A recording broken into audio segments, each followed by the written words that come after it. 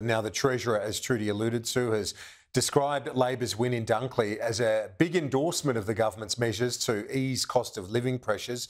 Olivia Caisley is live in the studio and he's not ruling out substantial relief in the May budget, not that yeah. far away. Yeah, he hasn't, but he has sort of said to you that uh, the major plank of cost of living relief from Labor is, of course, this renovation to the stage three tax cuts. As we know, the Treasurer was a major backer of changing up the stage three tax cuts and delivering a more uh, of a cut to low and middle income earners. And what I think is interesting is that the senior Labor sources concede that Labor was actually on track to lose Dunkley at the end of last year before they took this big political gamble to change that policy. Ultimately, this gave them something to talk about when they were out on the hustings in Dunkley. It was tell, telling voters that they were doing something uh, about the cost of living uh, and ultimately wedged the coalition who voted for the shake-up in Parliament. The Treasurer today also accusing the opposition of forging a negative campaign.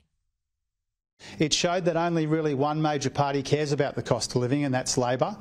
Uh, the other more, more or less vacated the field. And it showed as well that Peter Dutton's nasty negativity is no substitute for economic credibility or an alternative plan to deal with these cost of living pressures that we know people are confronting. Ultimately, the coalition didn't see the protest vote that they'd been hoping for in a seat that rejected the voice to Parliament. Uh, it's mortgage stress. It's exactly the kind of electorate that the opposition wants to pick up at the next election. And there are questions being asked about how has the opposition not managed to deliver more of a swing uh, given the cost of living crisis. And uh, when we head into the next federal election, it's likely that inflation rate will have been going in the right direction. So they'll have that much more of a difficult political challenge. Nationals leader David Littleproud was asked about this this morning, and he says that he's confident that the party can uh, strike the right balance in both uh, securing some of those uh, outer suburban seats as well as reclaiming some of the teal electorates that they lost at the last election. We shouldn't give up on teal seats. But like most of those, six of the seven uh, only need less than a 3% swing. Uh, and I think if we're smart and articulate, not only can we appeal to them, we can appeal to the outer suburbs. I've heard a bit of the, the commentary about, you know, we did well in Mount Eliza, therefore, you know, those teal seats are back in play. But you know, I'd make the point on that that the two voter cohorts that really drove the result in the teal seats being young millennial renters, being that sort of older, progressive, very Melbourne sort of cohort, are almost entirely absent in Mount Eliza.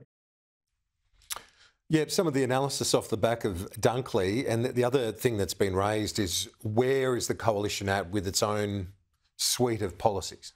That's right. So, uh, especially on things such as energy. So, uh, they will be unveiling a new energy policy around nuclear in the next couple of weeks. They essentially want Labor to end the moratorium on, on nuclear. They say that it should be part of Australia's uh, energy mix and that it's a cheaper and more reliable source of, power rather than converting uh, the national grid to just renewables. So, what they're going to do is identify potential locations for small modular nuclear reactors and also detail plans for safety standards, uh, regulation, and waste disposal. Prime Minister, though, not so keen about the idea when asked on radio this morning. There's a debate every 10 years. There was at the beginning of the Abbott government. Guess what?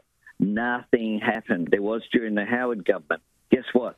Nothing happened. No one has ever been prepared to put up a dollar. And the market shows that uh, renewables is the cheapest form of energy.